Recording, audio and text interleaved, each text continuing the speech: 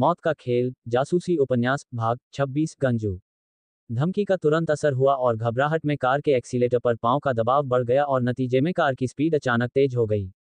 आराम से आराम से, पीछे से गंभीर आवाज़ में कहा गया। कार की रफ्तार सामान्य हो गई थी। चिकनी खोपड़ी वाले ने डरी हुई सी आवाज़ में पूछा, आप क्या चाहते हो? कुछ सवालों के जवाब। पीछे से कहा गया, मैं जिधर कहता हूँ, उधर चलते रहो। इसके बाद पीछे वाले आदमी ने उसकी जेबों की तलाशी ली। कोट की दाहिनी जेब से एक रिवाल्वर बरामद हुआ। उसने रिवाल्वर निकालकर अपनी बाई कोट की जेब में रख लिया। इसके बाद वह पीछे की सीट से आगे की सीट पर सरक आया। वह इंस्पेक्टर कुमार सोहराब था। उसने अपने बाएँ हाथ में माउजर ले रखी थी। उसकी नाल चिकनी खोपड़ी वाले की तरफ़ ही थी। उसने तिरछी नज़रों से पहले सोहराब को और फिर उसके बाद उसके हाथ में रखी हुई माउजर को देखा। इंस्पेक्टर कुमार सोहराब ने उसकी यह अदा देख ली थी। अलबत्ता उसकी निगाहें विंडस्क्रीन पर ही थीं। उसने बहुत गंभीर आवाज़ में कहा, कोई होशियारी मत दिखाना। मेरा निशाना चुकता नहीं है। किसी को मार देना मेरे लिए उतना ही आसान है, जितना ट्रिगर दबाना। जैसा कहता हूँ, करते रहो, वरना ज़िंदा नहीं छोड़ूँगा। इसके बाद सोहराब ने माउजर को यूँ ही गोद में पड़े रहने दिया। उसने जेब से सिगार निकाली और उसका कोना तोड़ते हुए कहा, सिसली रोड पर गाड़ी ले लेना। सोहराब ने लाइटर से सिगार जलाया और आराम से कश लेने लगा। कुछ देर बाद उनकी कार शहर के बाहर पहुँच गई थी। अब वह सिसली रोड की तरफ़ जा रही थी। सोहराब ने सिगार का कश लेते हुए कहा, अब रफ्तार बढ़ा सकते हो। सोहराब ने खिड़की खोलकर अपनी तरफ़ का बैक मिरर एच किया और पीछे की तरफ़ देखने लगा। वह लगातार पीछे नज़र रख रहा था कि कहीं पीछा तो नहीं किया जा रहा है। आज वह दूसरी बार इस रोड पर जा रहा था। इससे पहले इसी रोड पर उसका पीछा किया गया था और फिर फायर भी हुआ था। यही वजह थी कि वह सतर्क था। सड़क पर सन्नाटा पसरा हुआ था। इधर ज़्यादा लोग नहीं आते थे। इस तरफ़ पहाड़ों और जंगल में घूमने के लिए ही लोग ज़्यादातर आते थे। इन दिनों सर्दी के दिन थे, इसलिए पिकनिक और घूमने फिरने का प्रोग्राम लोग जरा कम ही बना रहे थे। कुछ दूर जाने के बाद पहाड़ियों का सिलसिला शुरू हो गया। दोनों तरफ़ ऊँचे नीचे पहाड़ सर उठाए खड़े थे। कहीं कहीं पर चट्टानें उभरी हुई थीं। कई पहाड़ियाँ नंगी थीं, यानी उन पर पेड़ नहीं थे। कुछ पहाड़ियों पर घास और ऊँचे ऊँचे पेड़ उगे हुए थे। आसमान साफ़ था, कुछ एक सफ़ेद से बादल आवारगी में मशगूल थे। दिन ढलने लगा था। कुछ पंछी दाना दुनका चुगने के बाद वापस अपने बसेरे की तरफ़ लौट रहे थे। कार अपनी रफ्तार से भागी चली जा रही थी। सोहराब ने एक बार फिर पीछे की तरफ़ देखा। सड़क पर दूर दूर तक कोई दूसरी गाड़ी नज़र नहीं आ रही थी। सोहराब चिकनी खोपड़ी वाले को पता समझाने लगा। कुछ वक्त गुजरने के साथ ही एक जगह पर सोहराब ने कार रुकवा दी। इसके बाद वह कार से उतरकर वहाँ से पैदल चलने लगे। सोहराब उस आदमी को वहीं ले जा रहा था, जहाँ से कुछ देर पहले वह लौटे थे। सोहराब चिकनी खोपड़ी वाले को लेकर उसी जगह पर दोबारा पहुँच गया था, जहाँ पर लाश फेंकी गई थी। सोहराब ने उसकी तरफ़ तीखी नज़रों से देखते हुए पूछा, इस जगह को पहचानते हो? नहीं, मैं यहाँ पहली बार आया हूँ, चिकनी खोपड़ी वाले ने कहा।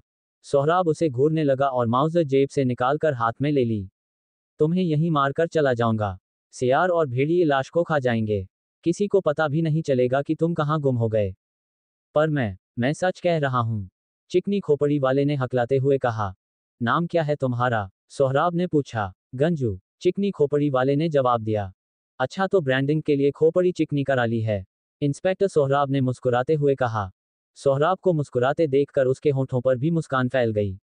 उसके बाद उसने कहा, गजाधर नाम है। लोगों ने गंजू कर दिया, सदर अस्पताल का क्या मामला है? सोहराब ने सीधे मुद्दे पर आते हुए पूछा, पहले मुझे ये तो पता चले कि तुम कौन हो? गंजू की हिम्मत बढ़ी गई थी। तुम्हारी ही बिरादरी का हूँ। बस मुझे कैफ़े वाले आदमी से जरा पुराना हिसाब चुकता करना है।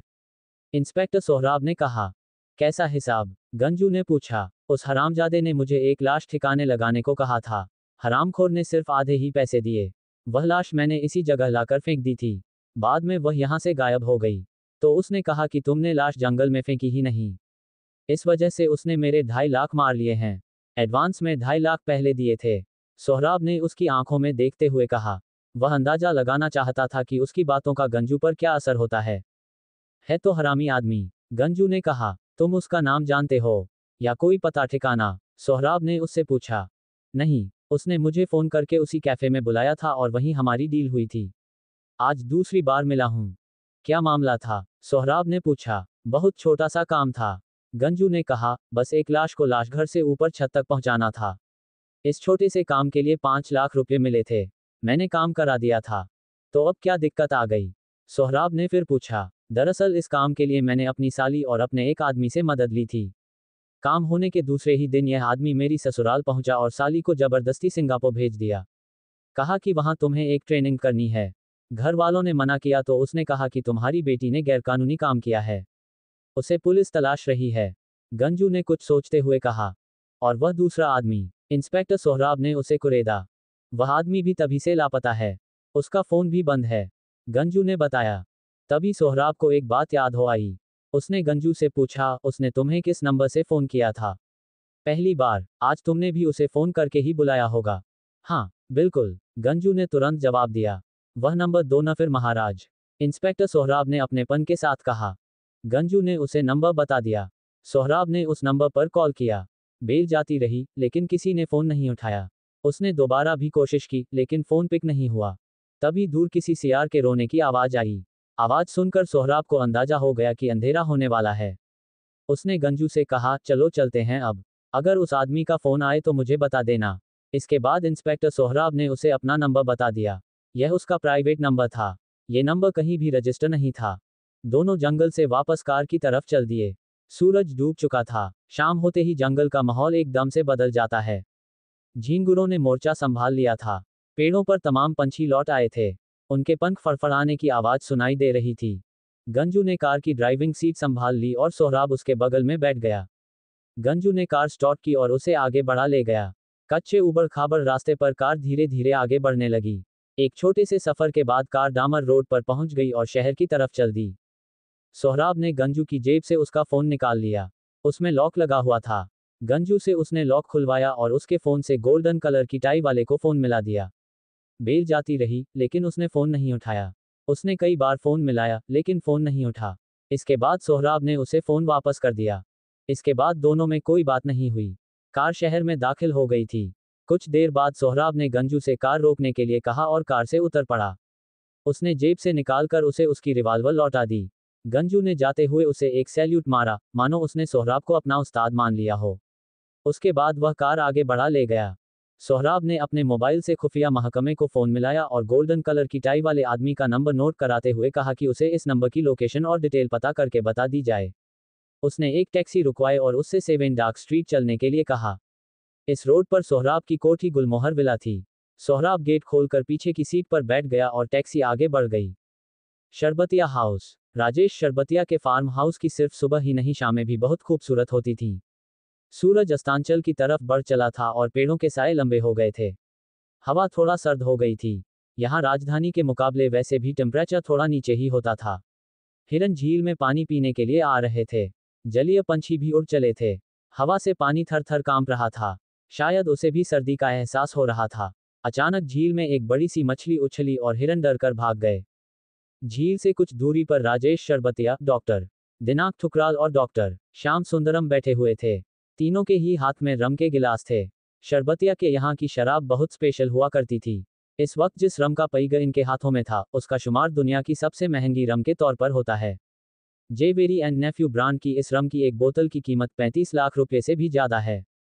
दिनाक टुकराल स्पेस साइंटिस्ट था और राजेश शरबतिया और वह कैम्ब्रिज में साथ साथ पढ़े थे। यही वजह थी कि दोनों में गहरी दोस्ती थी। डॉक्टर, श्याम सुंदरम देश का ही नहीं, एशिया का जाना माना कार्डियोलॉजिस्ट था। शरबतिया का वह फैमिली डॉक्टर भी था। इस वजह से वह शरबतिया की हर महफिल में शामिल रहता था। दिनाक टुकराल ने एक हल्का सा सिप लेते हुए शरबतिया से पूछा, रायना नहीं दिख रही है आजकल? कहाँ बिज़ी है? भाई वह तो बॉयफ्रेंड वाली है। इन दिनों उसी के साथ मटर गश्ती करती घूम रही है। शरबतिया ने एक बड़ा सा सिप लेते हुए कहा मानो उसे यह बात कहते हुए बुरा फील हुआ हो। पति की मौत का कुछ दिन तो गम मना लेना चाहिए था। डॉक्टर, श्याम सुंदरम ने कहा, उसे कब फ़िक्र है इन सब की? शरबतिया ने कहा, डॉक्टर, वीरानी की लाश का क्या रहा? कुछ पता चला। डॉक्टर, दिनाक ठुकराल ने पूछा।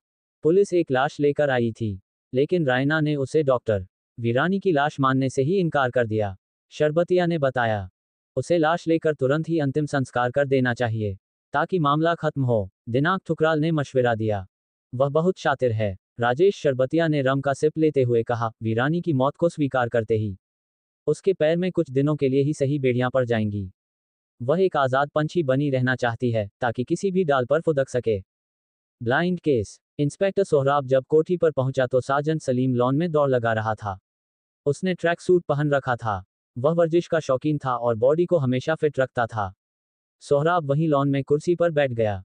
तभी उसके पास एक फ़ोन आया और वह दूसरी तरफ़ की बात ध्यान से सुनता रहा। साजन सलीम भी दौड़ पूरी करके उसके सामने आकर बैठ गया। कॉफ़ी पिलवाओ थक गया हूँ। सोहराब ने आँखें बंद करते हुए कहा, अबे झुनझुने, कॉफ़ी और स्नैक्स ले आओ। साजन सलीम ने वहीं बैठे बैठे हाँक लगाए।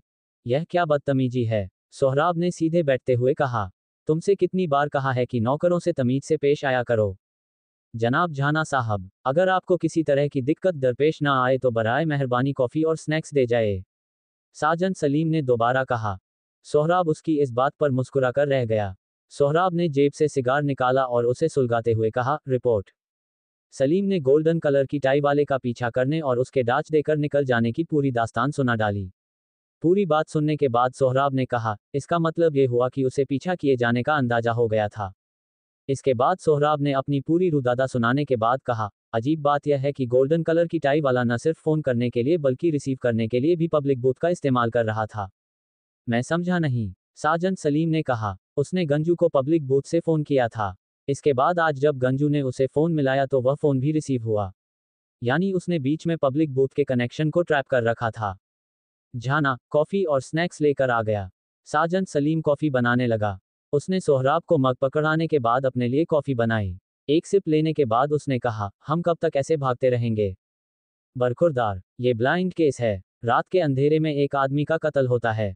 न कोई गवाह है और न कोई सबूत है। तकरीबन सत्तर लोग संदिग्ध हैं। सभी हाई प्रोफ़ाइल लोग हैं। आप किसी से बिना सबूत पूछताछ तक नहीं कर सकते हैं। सोहराब ने कहा।